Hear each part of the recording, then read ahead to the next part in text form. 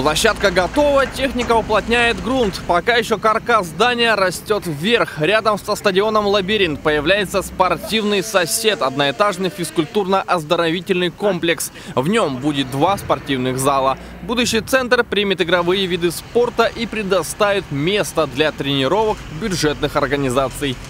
Самый главный критерий – любить спорт, поэтому двери будут открыты будем делать микс. Как бы, безусловно, это будет площадка для наших бюджетных учреждений, соответственно, для того, чтобы занятия были бесплатные.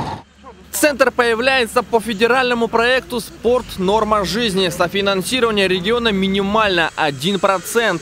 В денежном выражении полтора миллиона, а общая стоимость проекта 150 миллионов рублей. Комплекс планируют построить за год. По словам подрядчика, строительство опережает график, но специалист предупредил, что не все зависит от человека.